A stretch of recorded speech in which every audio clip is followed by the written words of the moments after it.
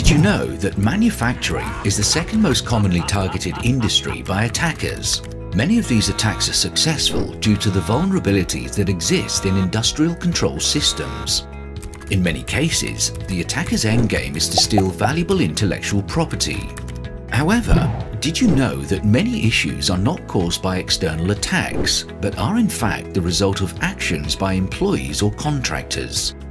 There are many risk factors to consider. First, there's connectivity. New business models related to the Industrial Internet of Things connect both the industrial and business networks to the Internet, expanding the attack surface. And let's not forget the automation layer, one of the easiest and most successful ways to launch an attack in a manufacturing facility is to change an automation's device program data. There are many products that claim to protect a facility from an attack, and although many are useful, no product can fully protect control logic from being changed inadvertently or maliciously. You might think that all you need is a properly configured firewall to protect the plant floor. Well, this isn't in fact true.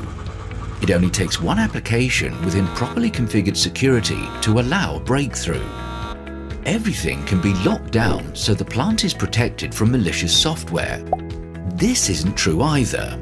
Even with tight security, threats remain, like having to use old software to program older equipment. Do you think if a plant doesn't use much Ethernet protocol on the plant floor, then there is no risk? Because, you guessed it, this is wrong. Many proprietary protocols are old and insecure. Today, Manufacturers and utility providers are making cybersecurity a greater priority, and we are too.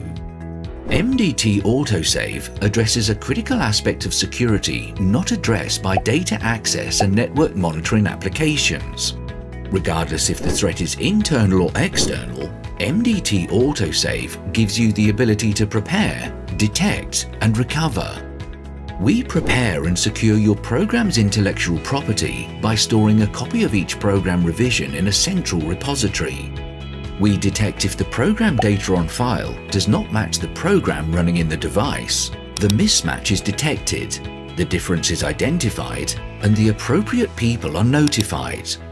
And we help you recover quickly if a potentially harmful program change has occurred. Immediate access to all program revisions enables the plant to quickly restore the latest approved program. An integrated approach to cybersecurity is necessary for comprehensive protection of your manufacturing plant. Let us secure your intellectual property today.